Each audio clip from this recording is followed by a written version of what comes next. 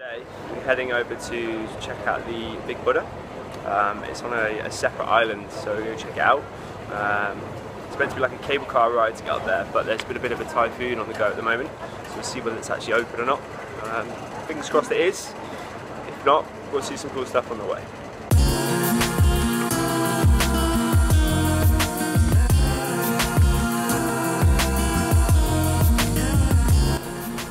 So sadly, due to the typhoon which has been in the area, the um, cable car we wanted to take is closed.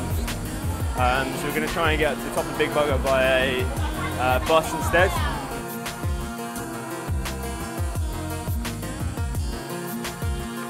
We've made it to the top of Big Buddha and we've got some more cows, temple, and this guy. Here's the big old guy and let's climb some steps, go check him out. Nice old climb.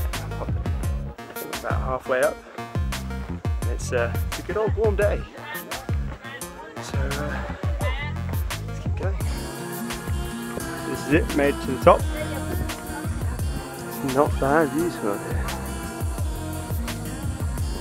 This is the Big Buddha up close and personal.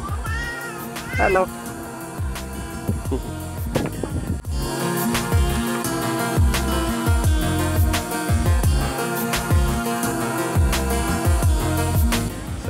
guys, the cable car is now up and running. Ooh. So we're getting it, getting it down, and hopefully we should check out some decent views.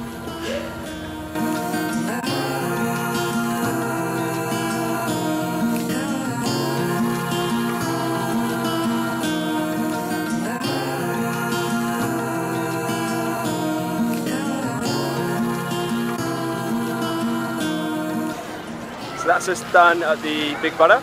We're now back at the Fountain and we're about to catch the MTR uh, back to hostel. But it's good. I had good product there. It's quite nice to actually get away from the city. And until it's so close, you feel like you're in the middle of nowhere. Um, and the cable car ride down as well. That's definitely worth doing. It's quite expensive, so maybe just do the one way. Um, but definitely worth it. Great views. Anyway, it's me. I'm done.